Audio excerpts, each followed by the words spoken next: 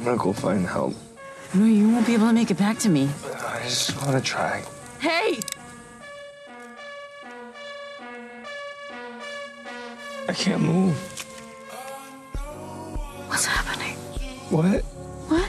What even is poison? I think they're just chemicals. What are chemicals? I don't know, Danny. How come Asians are all lactose intolerant? Um, Maybe because uh, milk wasn't part of our ancestors' diet. No, that doesn't make sense. Because all Korean dishes have beef. So if we have the cows, then why wouldn't we drink the milk? Hey, You know? you gotta stop asking me questions, okay?